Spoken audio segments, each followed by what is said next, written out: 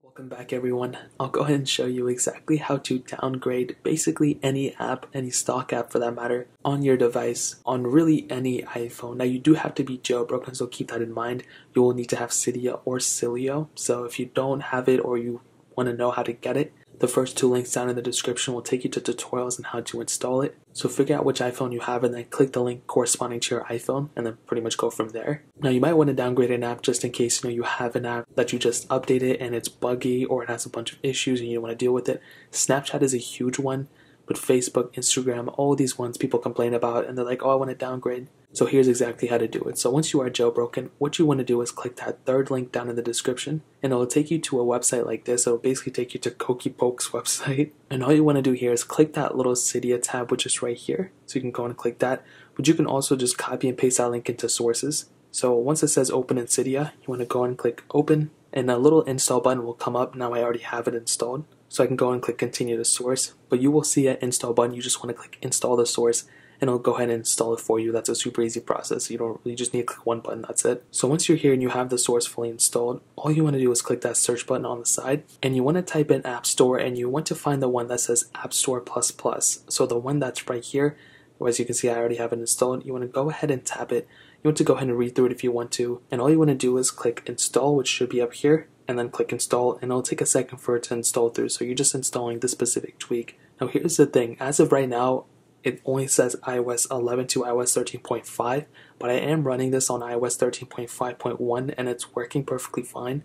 So I don't know what, maybe they didn't update this yet, but once you have it installed, then you're pretty much good to go. And just for you guys, I'll go ahead and reinstall it so I can just match up with you guys. So once it's installed, just restart the springboard. And now all you need to do is make your way over to the App Store. A little pop-up should come up, but since I already had it installed, maybe it didn't. But it'll go ahead and tell you to like download the logs or something. You just want to click accept and then maybe another pop-up will come up you click cancel or something and then at this point all you want to do is search up the specific app that you want to downgrade. So in this case I want to downgrade Snapchat. So I'll go ahead and click Snapchat and search it up.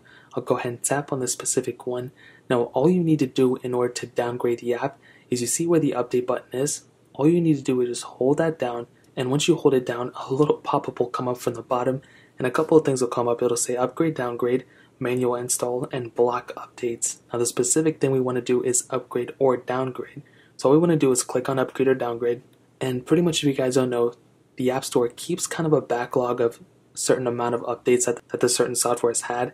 Now you can't go like all the way back as you can see it only allows me to go down here and it might not even let me install this one. If you go all the way up, the very top one is the most recent one. So 10.86, whatever this top one is, that is the most recent update from Snapchat. So let's say I'm having an issue with that specific version of Snapchat. All I would have to do is go to the one before that, even the one before that, but we'll just go to this one for example. And I'll just have to tap it and I'll go ahead and click install and it'll ask me. And once you type in the password, it'll go and click done.